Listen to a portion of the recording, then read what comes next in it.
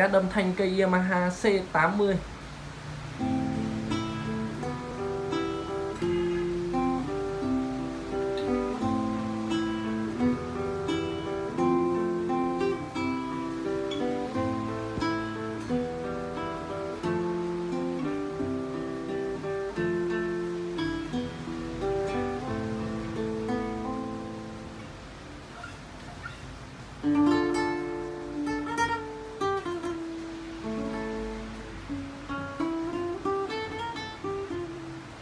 Thank you.